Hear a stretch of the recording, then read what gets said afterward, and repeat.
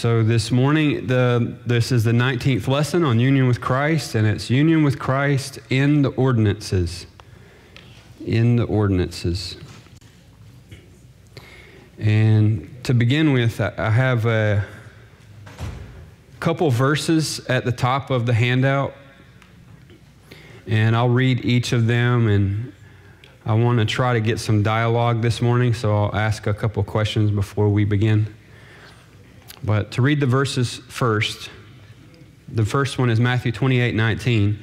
Go, therefore, and make disciples of all nations, baptizing them in the name of the Father and of the Son and of the Holy Spirit. And also Luke 22 19. And he took bread, gave thanks, and broke it, and gave it to them, saying, This is my body, which is given for you. Do this in remembrance of me.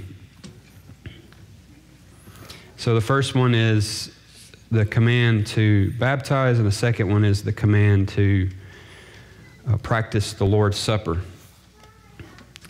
So, a uh, quick question for you why do we call these two commandments ordinances? And what are other names that they might be called? Sergio.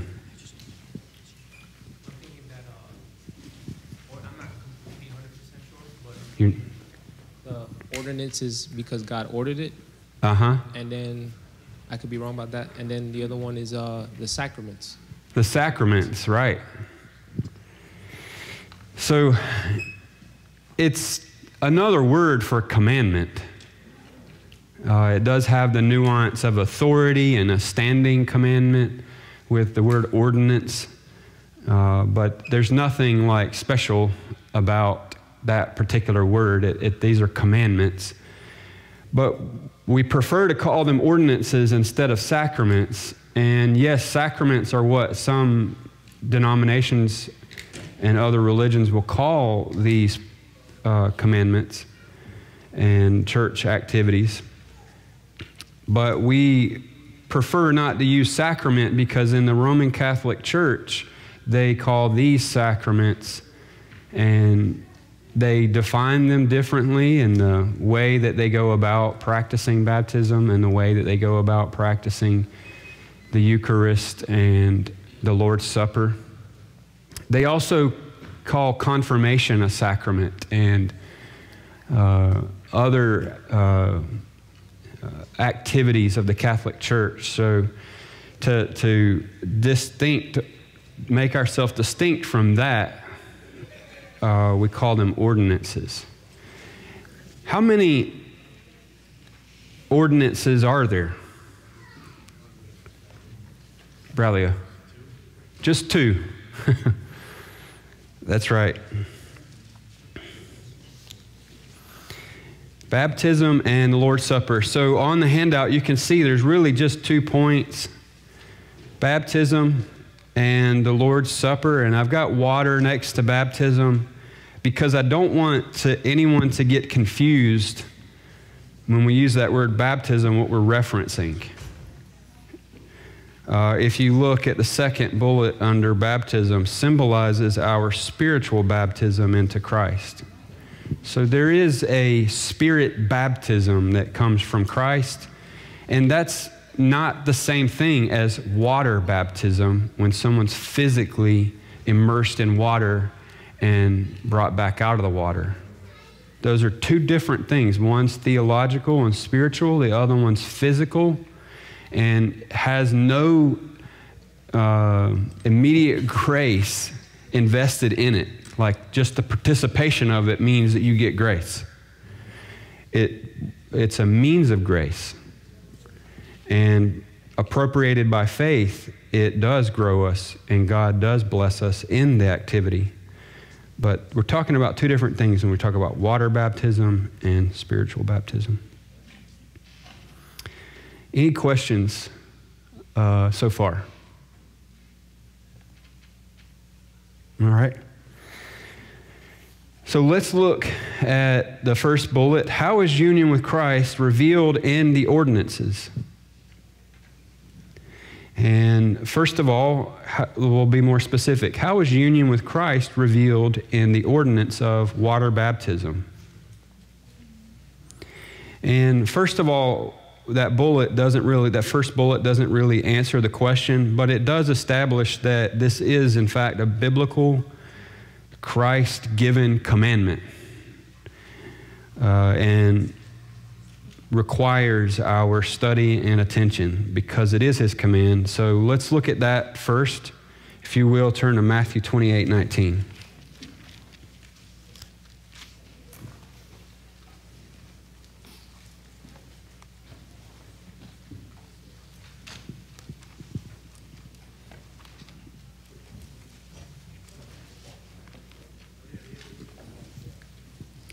All right. And I'm going to start in 16. And if you will remember with the Great Commission, what has occurred in history is that the Lord has atoned for sin and fulfilled his state of humiliation and all that was required of him by the law. And having done that which pleased the Father, even to death, the death of the cross, he has resurrected with power. And now in verse 16, we pick up. Then the eleven disciples went away into Galilee, to the mountain which Jesus had appointed for them. When he saw him, they worshipped him, but some doubted. And Jesus came and spoke to them, saying, All authority has been given to me in heaven and on earth. Go, therefore, and make disciples of all nations, baptizing them in the name of the Father and of the Son and of the Holy Spirit, teaching them to observe all things that I have commanded you. And lo, I am with you always, even to the end of age, end of the age. Amen. So, right here in verse 19, we have the commandment to go, which carries the imperative force of the word make. The main verb of that, that sentence is make. So, we are to make disciples, and that involves baptizing them in the name of the Father and of the Son and of the Holy Spirit. And this is a reference to water baptism. Uh, it's something that the church is to obey Christ in, not just the 11 disciples, because the 11 disciples, uh, 12 apostles, when we, when we add in Matthias, not just the 12 and then the 13th with Paul, are to fulfill this commandment, but they're to teach the church and the people of God to observe all the things that Christ has commanded, including baptizing. So we practice baptizing today just as they were initially commanded. This is a commandment for the church. And um, water baptism, you can see it in John uh, and then in Acts. So if you go to Acts briefly, just to show you it's happening in the first church in the early church. Acts chapter 2.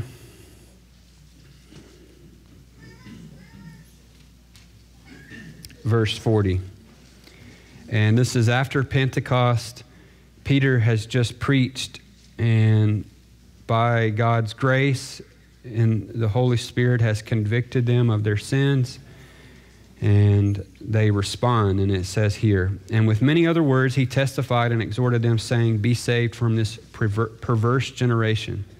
Then those who gladly received his word were baptized, and that day about 3,000 souls were added to them. This is the church baptizing uh, the apostles and those who are baptizing, baptizing new believers. So they're fulfilling the commandment back here in Matthew 28, and it is water baptism. Um, what does that mean when it says, in the name of the Father, and in the name of the Son, and in the name of the Spirit?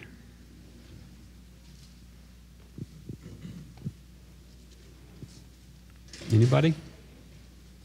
Mr. Lee?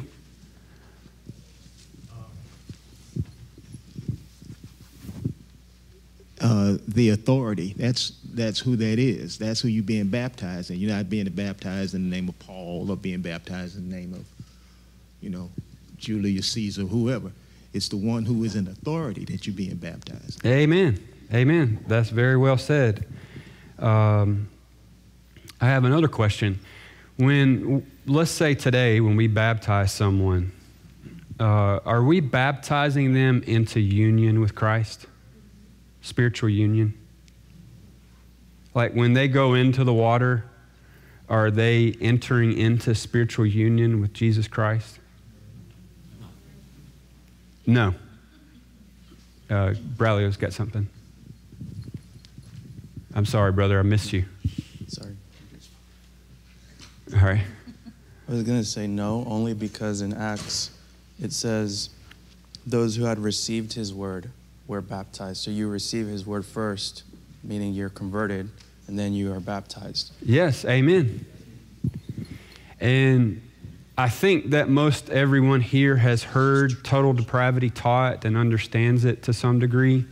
But if you're new or a visitor or you haven't uh, heard that word, that term before, um, Braulio is stating that in Acts we saw that who was it that was baptized? It was those who gladly received the word that Peter was preaching, the word of God.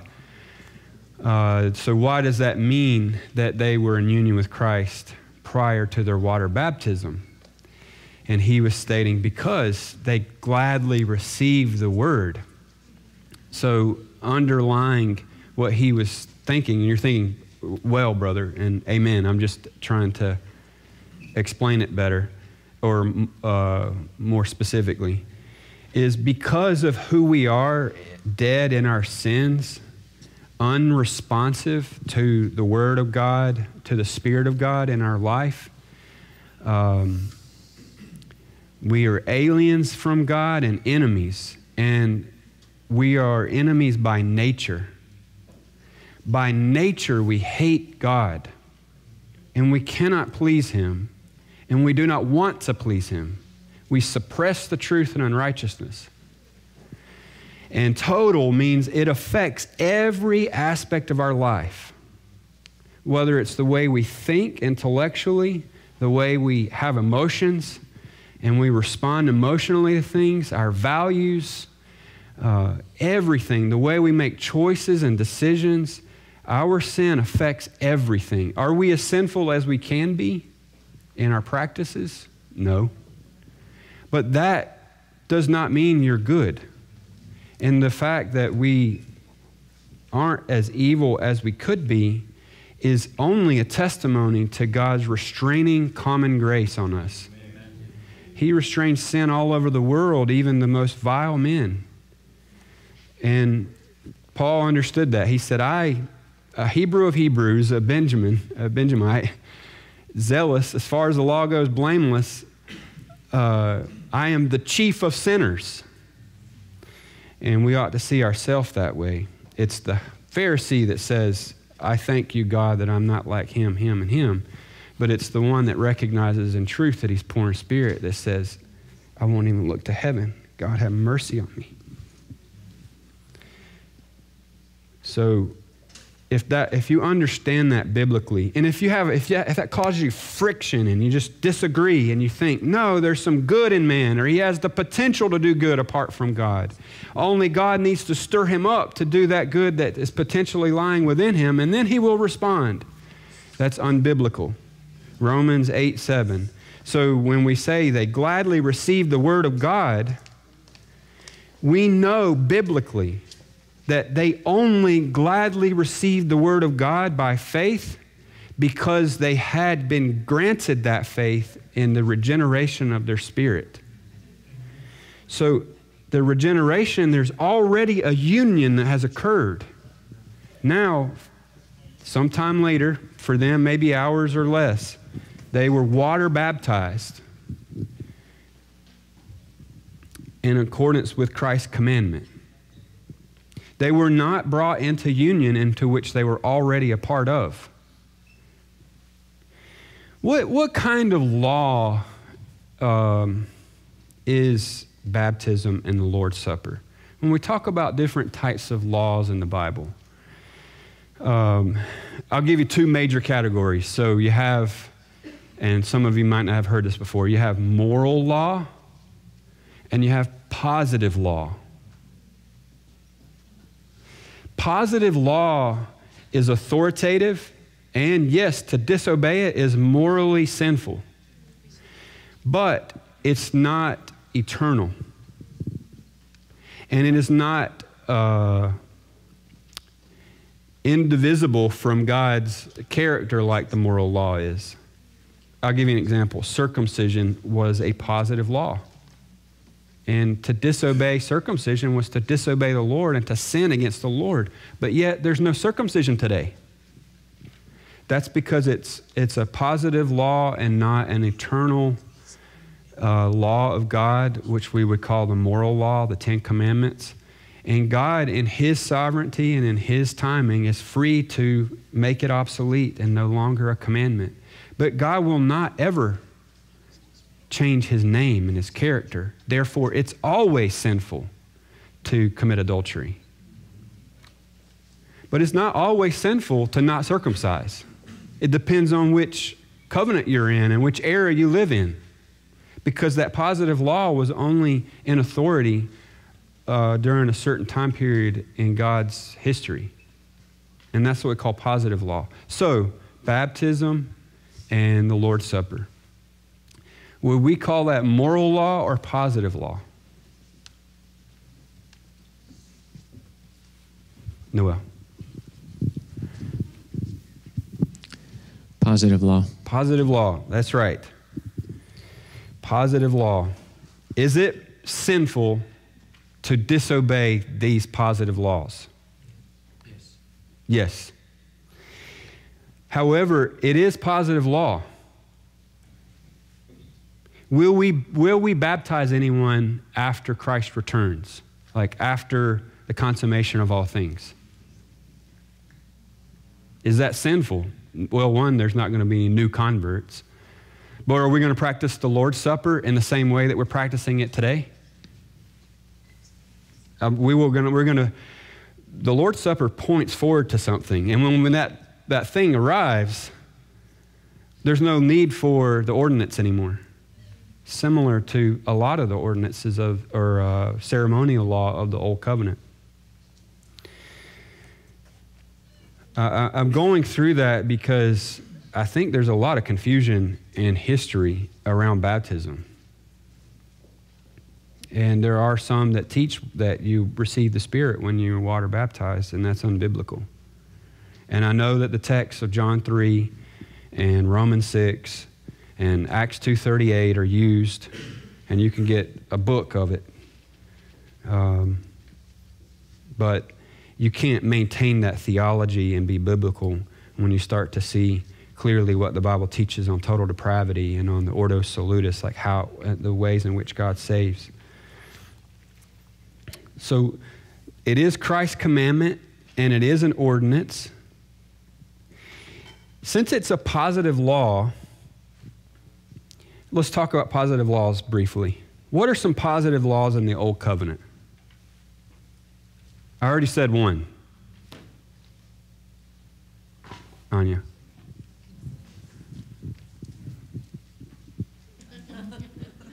I think one of the first ones was not to eat the fruit of the tree. Not to eat the fruit of the tree? Oh, like uh, wine or? No, in the, in the Garden of Eden. Oh, oh. I'm sorry. I didn't know. I didn't know what you meant. I'm sorry. I'm I'm thinking uh, Mosaic covenant. I'm sorry. Yeah, not to eat the not to eat the fruit of the tree in the Garden of Eden. So uh, that's a positive law. It's not a moral law, but God gave that positive law as part of the covenant of works. And to disobey it was sinful. What's one, though, in after the fall? What's some positive laws after the fall? You can't eat bacon. You can't eat bacon. Dietary laws. And we have the Seventh day Adventists predominant here in Florida And we have a whole health system, the Adventist health system, which is coming off of Seventh day Adventist theology. There's this, uh, this heavy emphasis on health. Is that wrong? No. But when you make it theologically necessary to practice certain dietary laws today in order to be holy, that's unbiblical. I think I know where you're going with this. All right. um, circumcision and the Passover. Yes, yes. You, uh, thank you, brother. And I'll, and I'll get to where I'm going now that you said that because that's really easy to jump off of. Circumcision and Passover meal were required by the children of Israel during the time of the Old Covenant. Circumcision wasn't a positive law that just had meaning and purpose or uh, use in its time. It, it was symbolized and pointed forward to God's promises related to his anointed, the Messiah. When he would circumcise the hearts of his people. Passover was to remind them of a physical redemption out of Egypt when they were in slavery to Pharaoh and the Egyptians. The meal was to remind them of that past event and to point forward and symbolize of a greater redemption in the promise of redemption from sins. And when Christ comes, there is the uh, doing away of the old covenant because much of what it pointed to is now already here and no longer necessary. So we need to take into consideration of what's the purpose of baptism and what's the purpose of the Lord's Supper? What is, is it pointing to? What is it symbolizing? How is it supposed to inform my faith and encourage me in this Christian walk? Because we want to avoid formalism. We want to avoid the legalism that our hearts latches on to.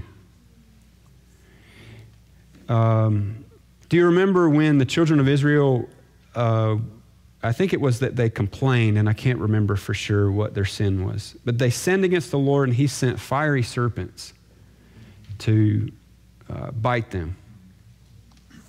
Mr. Ron, you got to. She has a positive wall. Oh, okay, yeah. Did you want to say it? I was, I was just going to say uh, the feast, the sacrifices, and the burnt offerings. Yes. Yeah, the sacrifices and the burnt offerings. Amen. And we know the sacrifices pointed forward to the greater sacrifice. Amen. That's another good one. But there with the fiery serpents, what did God use to say, I will physically heal you of your judgment for your sins, which is poison and death, if you do this? What did he say, Mr. Lee? If you look at the standard, it Yes. was a snake. A bronze, Bronze serpent. serpent. On a standard or I don't I, I haven't got a good image of what that was. I, I imagine some kind of big pole. I had some, I, I was in on a study of that, and, and what it was, it was like the cross, but the serpent was, you know, the way he had it, Okay. it was like, like that. Okay. Yeah, kind of like it just. So, but the, my point there is the children of Israel would, if you imagine, let's just say a million people. That's a large camp. You got the tabernacle in the middle, and you've got tents all over. For a long distance that way, that way, that way, and that way. And then the Lord says, You get word from Moses and on down. There is a piece of wood with a bronze serpent on it in the center of the camp. If you go up there and look at it, you'll be healed. And they would have to walk up there and they would get healed from it. What did the children of Israel do later on with that, that bronze serpent? They made it an idol.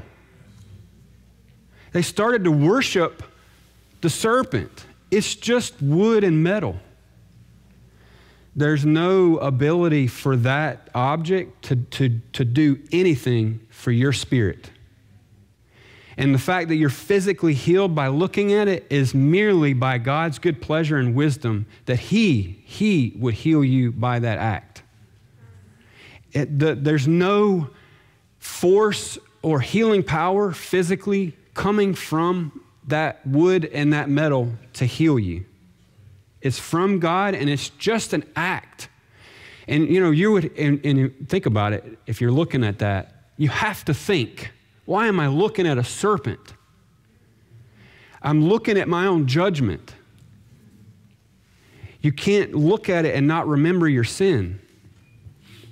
And Jesus said, just as Moses raised up the serpent in the wilderness, so too the Son of Man must be looked up. And you can't look at Jesus Christ by faith and not see your sin and your judgment. So we don't want to be guilty of the same sins with these ordinances and somehow in our minds falsely invest into water value that is not there and power that is not there. Or in taking food into my mouth and juice into my mouth, that there's power in that. You can take those things and do those things and go, go to hell. It's not the doing of it, it's not the objects themselves, it's God by His grace and power that He causes you to overcome sin through faith in act, uh, doing those things. And I know I'm hitting hard on that. And the reason why is when you study this more and you look more, even with the limited amount that I've done, you start to see there's a lot of confusion the Roman Catholic Church practices transubstantiation, which uh, believes that the food and the, the, bread and the wine actually become the body and blood of Christ, and that there is an actual re sacrifice of Christ, and you are actually physically eating the body of Christ. Um, and I don't know that if we're in jeopardy very much of becoming Roman Catholics, but even within other circles, you know, there's differences on the mode of baptism with Presbyterians. And there's some, even in uh, what I would say is Reformed circles, that believe there is some kind of grace uh, invested in baptism. Because it's through it that you become partaker of the covenant. So uh, I'm saying all that because I want to inform us and guard. Now let's go to Romans 6. Symbolizes our water baptism, symbolizes our spiritual baptism into Christ.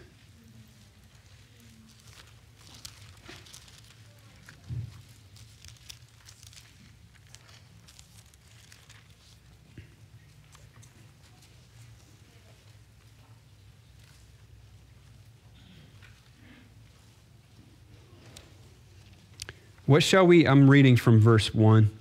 What shall we say then? Shall we continue in sin that grace may abound? Certainly not. How shall we who died to sin live any longer in it?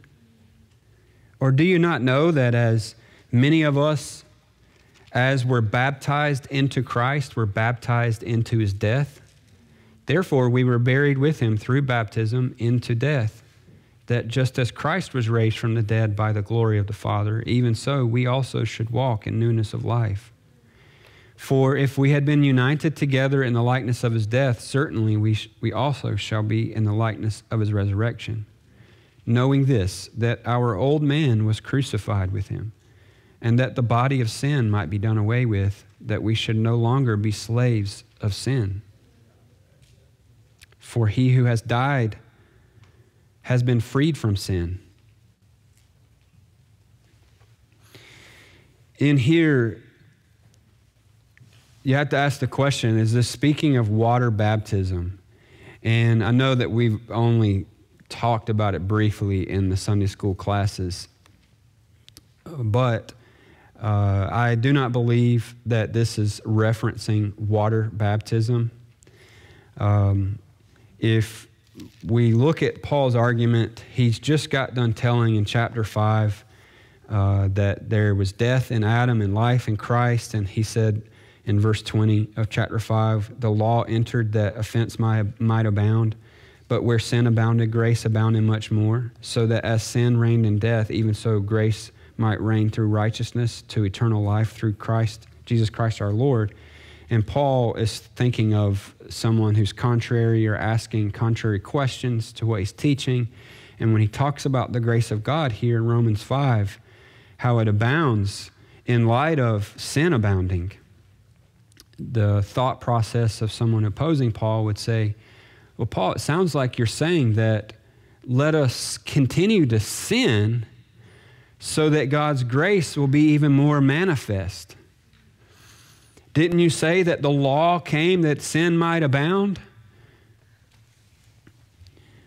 Uh, so, are you teaching that as Christians, that if you practice more sin, you're going to only manifest the grace of God?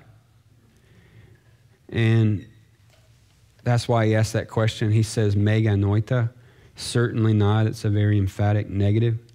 How shall we who died to sin live any longer in it? He doesn't say baptism there. He doesn't say, How shall we who were baptized live any longer in it? Uh, he says, Dead. What does it mean to die to sin?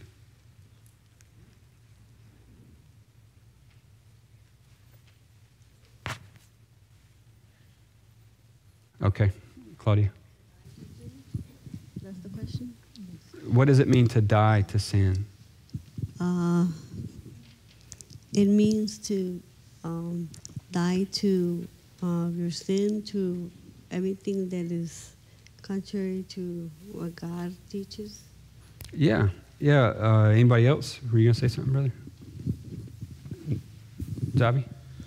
Um, I mean, simply, it's to be released from the power of sin. But I was thinking of Romans 7, how there's an analogy between somebody who's married and how, you know, by, let's say, the husband dying, then the woman is free from the law. Yeah. Um, and specifically in verse 5 of Romans 7, it says, For while we were living in, in the flesh, our sinful passions aroused by the law were at work in our members to bear um, fruit for death. But now we are released from the law, having died to that which held us captive captive so that we serve in the new way of the Spirit, not in the old way of the written code. Amen.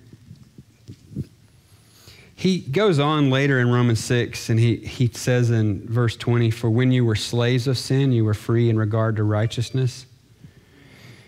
Um, in verse 22, but now having been set free from sin and having become slaves of God, you have your fruit to holiness and the end, everlasting life when he talks about death to sin there, uh, it, we know that to say you're without sin is sin. Uh, First John uh, is clear about that. You know, he who says he is without sin is a liar.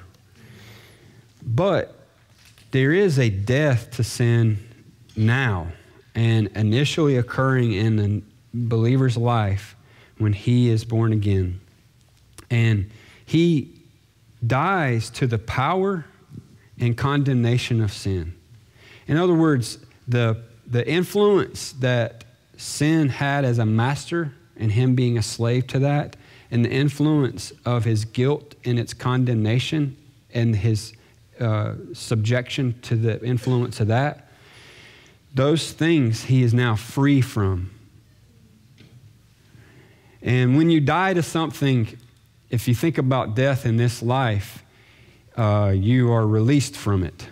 You no longer live within its boundaries and its, uh, uh, its domain.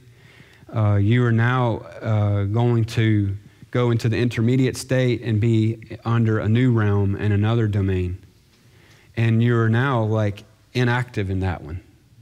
You're free from that one and you're alive to this one, so to speak. So that's why marriage, you know, like when there is, uh, uh, when marriage ceases, let's just say through death, one of the spouses dies, that bond of marriage is done away with. So that person is no longer to consider themselves a married individual because they're freed from those bonds now that that other person has, has passed away. So they died to the marriage. Not that they like don't love the person, they just died to that bond. They're no longer active in that bond. And same way when, when a Christian's born again, he's no longer a slave of sin. And that's supernatural. That's not man made, it, it comes from God. So, here, what Paul is focusing on is answering the uh, objection of shall we continue in sin that grace may abound? No way. Absolutely not. Because how can we who have spiritually died to the reign and realm of sin in, in, that, in its reign, live in it. You know, it's like how can, how can uh, someone who's passed away live in this world? Um, I want to read John Brown on this.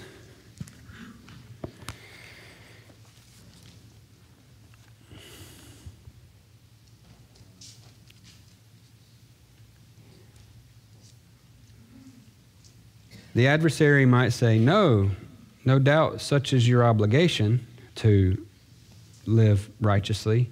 But how can that obligation consist with your doctrine? If you are indeed, in a moral sense, dead to sin, it is more than what to be expected. It is more than was to be expected from that doctrine of yours. And this is uh, coming from a standpoint of somebody not understanding what it means to die to sin. And they're saying, Of course you're dead to sin. That's exactly what your doctrine teaches. And whatever, whatever you've engaged to do, that is what your doctrine warrants and encourages. And we doubt, we doubt not will end in leading you to do to continue in sin that grace may abound. The apostle takes up different ground altogether. He sets himself to show that the divine method of justification, which was the first four chapters, is the once is is at once necessary to sanctification. So the divine method of justification, faith in Jesus Christ, through the atoning work of Christ and the renewal of the Spirit, is at once necessary to sanctification.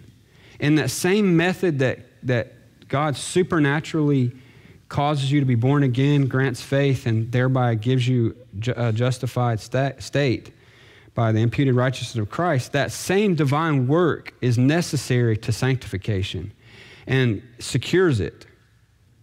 He shows that Paul shows first that the divine method of justification establishes such a union or intimate relation between those who are its subjects and Jesus Christ both in his death and in his restored life, as secures that anything like habitual unholiness of heart and life cannot take place.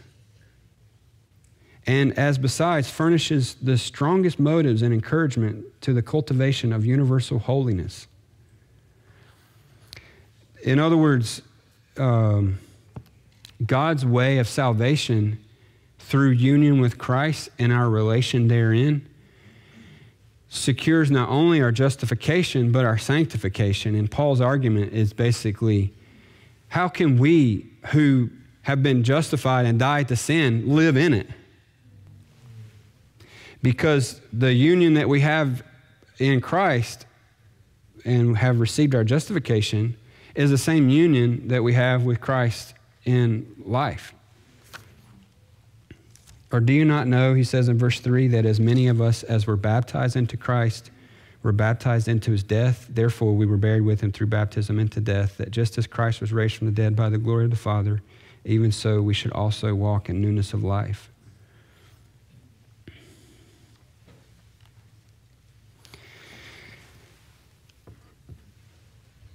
You look at Galatians 3.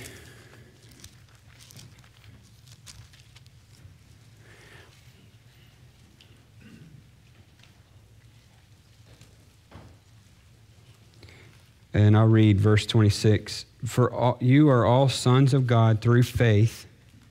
in, G- in Christ Jesus. For as many of as many of you as were baptized into Christ have put on Christ. It does say here, baptized into what? Into Christ. This is talking about being immersed into Christ. It's not talking about uh, water baptism, it's talking about being brought into union with Christ and his body by spiritual baptism.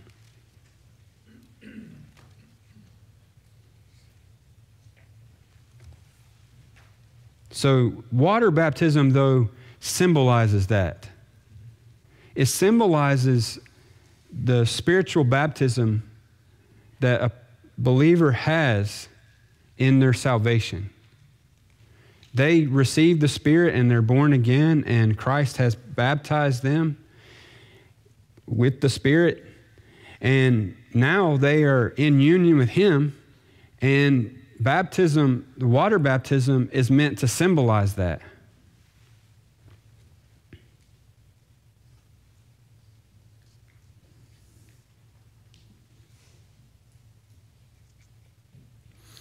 Uh, the third one is symbolizes water baptism symbolizes our union with Christ and his death, burial, and resurrection, which we read in Romans. There's this uh, union and relation that we have with Christ that uh, we are benefactors of his death, burial, and resurrection and partakers of it when salvation is applied to us in our relation to sin and its reign. Uh, the fourth point, it, water baptism symbolizes our spiritual purification in union with Christ. So, water baptism is doing more than just one thing. It's not just symbolizing one thing. If you go to Acts 2:38, you could say it's one thing, but I mean that broadly. When I say one thing, not one thing, I mean like specifics, perspectives of, of a greater thing, but those perspectives are dis- distinct. So I don't want to get lost in semantics, but it's symbolizing not just death, burial, and resurrection in our spiritual union with Christ, but also water is often used to clean the body, and it's a symbol of cleaning. So we look at Acts 2 uh, 38.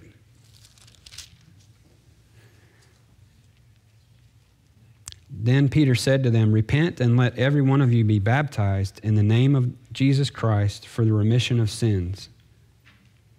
And you shall receive the gift of the Holy Spirit, for the promises to you and to your children and to all who are far off, and as many as the Lord will call.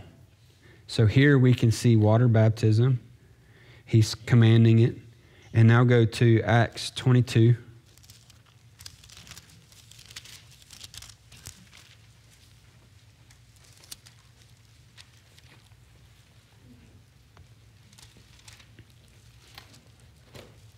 Verse, I'm going to start in verse 15.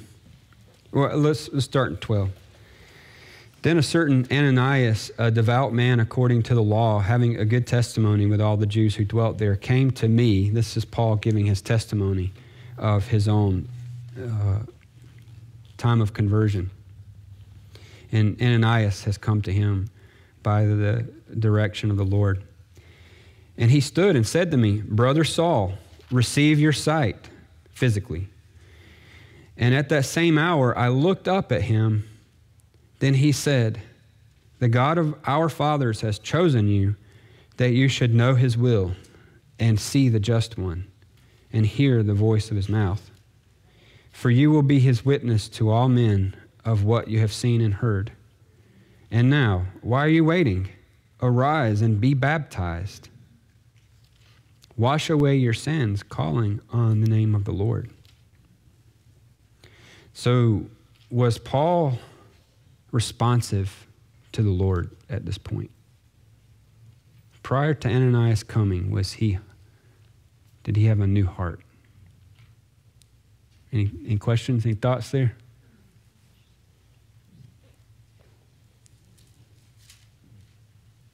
Mr. Lee. And I could be wrong, but on the road to Damascus is when Paul got converted. That's when his eyes were open. That's when he repented and believed. So when this brother got to him, all that was said and done. Yeah. Uh, I, I think that someone could argue, and I've read that uh, a little, but I heard a counter argument, and I'm convinced that he was converted before this moment, as you said. He responds to Christ, and, and Christ is saying, Why is it, why do you kick against the goads?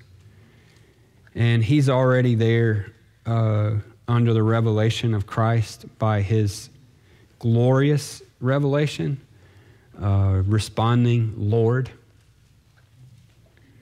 Who are you, Lord? And then the Lord reveals his name to him, who he is. And then Paul is here, uh, was there waiting on Ananias, and the Lord told him that he would be coming. So, but what you can see here in verse 16, he says, Now why are you waiting? Chapter 22, 16. Arise and be baptized and wash away your sins. Calling on the name of the Lord. There's this element of cleansing that occurs when a person is brought into union with Christ. The Holy Spirit purifies them of the filth of their sin and its guilt. The stain that no man can clean. When someone's brought into union with Christ, they're made a new creation, and by faith in Christ, by the Spirit, they are purified. They are what another what term would be definitively sanctified, made holy, set apart by the Lord. They're not what they once were anymore. If if you had a bar graph and they're down, if this is like somewhat externally moral and you're way down here, and then you're regenerated, you go way up. Or you're not all the way to the top though. But there is a, a, supernatural changing of the man where he is made holy by the work of the Spirit. And that, that Spirit's work is there's a washing that occurs, a cleansing. You can hear it people's testimonies when they have a soft heart and they don't have that, that uh, burden of guilt and I know that introspective people with lacking assurance can have troubles with guilt. But all those, even those who have struggle with assurance, um, put their faith in Christ and have hope in Him and do not have the crushing guilt of their sin when they were uh, dead. So, Baptism symbolizes that, symbolizes a washing. So when you see somebody getting baptized, you can think, that person's died and they've come to life in Christ.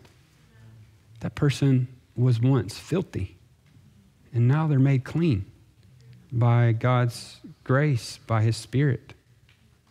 Praise the Lord. And even now, this water is doing nothing for them, but we are obeying Christ. And I am appropriating this activity by faith and praising God in my heart and with His people. I say do nothing, and what I mean by that, not that it's not set apart and holy in its use. But what I'm saying nothing, what I'm talking about is the water itself is not being made uh, some kind of an elixir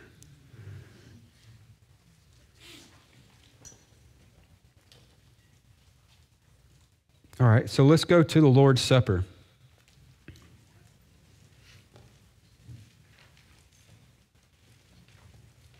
Is Christ, the Lord's Supper is Christ's command and ordinance. So go to Luke 22 19. And I'm just going to read this one and move to the next point.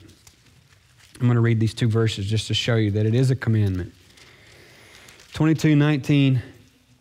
And he took bread, gave thanks, and broke it, and gave it to them, saying, This is my body, which is given for you. Do this commandment in remembrance of me. His body has not yet been crucified, and he's telling them to remember it. This is intended for a future use. And the church understood that through the Holy Spirit uh, helping and guiding the apostles into truth. If you look at 1 Corinthians 11,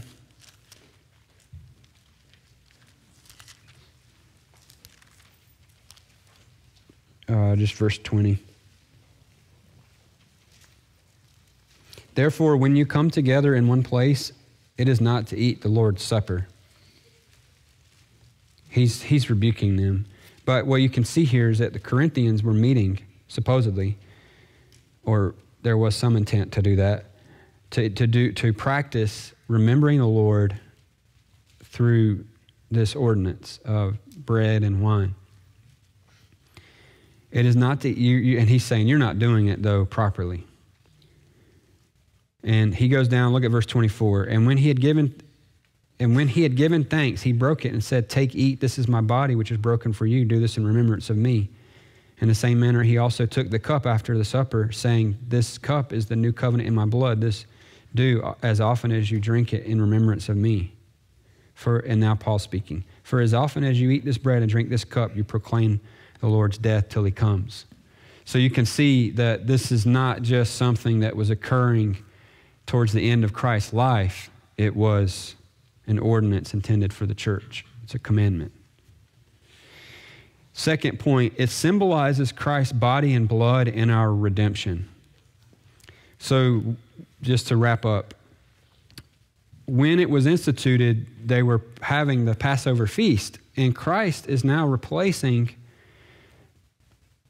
the Passover with his own Passover, and he's giving an ordinance on the basis of that. But similar, they were to have a feast related to the Passover to remember their redemption from Israel and to point forward to promises God made for them in the land. Well, God, Christ's Passover, when we partake of this food here and this, this drink, uh, we are to remember our redemption uh, spiritually and we are to, to look forward to the redemption consummated, the redemption of our bodies and our final being brought into fellowship with Christ when he returns physically. So when we are partaking of that, of try to guard against formalism and renew your mind, pray, and by faith appropriate that. Come prepared and remember the redemption that was purchased for you by the body and blood of Christ. And then look forward to what's coming with the completion of this redemption. And then last, it symbolizes our fellowship with Christ. And if we went to 1 Corinthians 10, Paul talks about the table, partaking of the sacrifices, eating food. So in the Old Covenant, they had peace offerings, a Thanksgiving meal that they would have together. Well, uh, in this ordinance, we are symbolizing a fellowship that we have with Christ. We're not actually eating a meal with Him, He's not here physically. But we are proclaiming His death, like I said, with the redemption, and we're also proclaiming our union with Him and our fellowship in it. And we're hoping for that day that we will have the consummation when we fellowship with Him physically. Any questions? Okay. Well, let's pray and we'll close. Thank you, Father, for these ordinances. Thank you, Lord Jesus, for commanding them. And thank you for the Word of God, O Holy Spirit, uh, for informing us of what is proper related to them and how they are symbols, positive law intended to be obeyed for uh, means of grace that we might grow and walk with you. I pray that we as a church would not uh, fall into any formalism with our ordinances, but by faith rejoice in Christ Jesus and uh, be strengthened in this uh, fellowship and in this union uh, as, it, as, as it pertains to our own sanctification. Amen.